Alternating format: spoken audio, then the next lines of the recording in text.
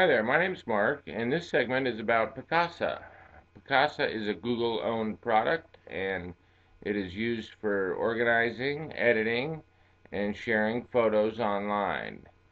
Uh, Picasa has many good features in it. Uh, its editing, editing features allows you to eliminate scratches, blemishes.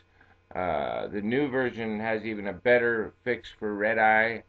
Uh, you can crop your photos and much more. Uh, you can create and turn photos into movies. You can create beautiful collages, and you can create slideshows for vacations, for uh, for what for different you know uh, purposes that you you might want to show the family a slideshow. One thing that I, I, I found in Picasa is that there are some definite applications in the education world. Uh, if you're doing projects, uh, uh, photos do do a great job of enhancing projects for like history, geography, and even some science classes. Uh, especially uh, when you can take pictures of before and after, and and then or a, a, a variety of pictures based on a topic you're you're you're working on.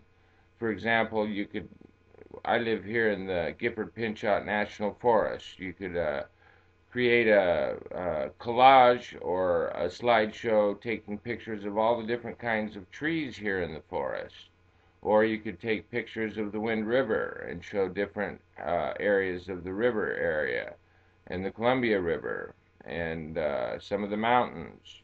If you were to do a report on the Gifford Pinchot Forest, which has been a national forest since the 1930s, I believe. Uh, using Picasa, you can you can edit all the photos that you've taken, you can organize them, and then you can share them with your class. And uh, that's just one way of uh, applying uh, Picasa to your to your classroom. Another way is for fun events. You know, school events. You can you you can uh, take lots of pictures throughout the year and use Picasa to help organize the school uh, the, uh, yearbook at the end of the year. Uh, the students can can collect the the pictures throughout the year and and then pick the best ones for the for the yearbook. Also for art classes, uh, you could create the collages and and do editing of, of photos to uh, accomplish certain types of goals. And and you can also use it for photo classes obviously. Uh, there's just a, a, a, variety of ways of using Picasa because pictures and video have become uh, an integral part of uh, education.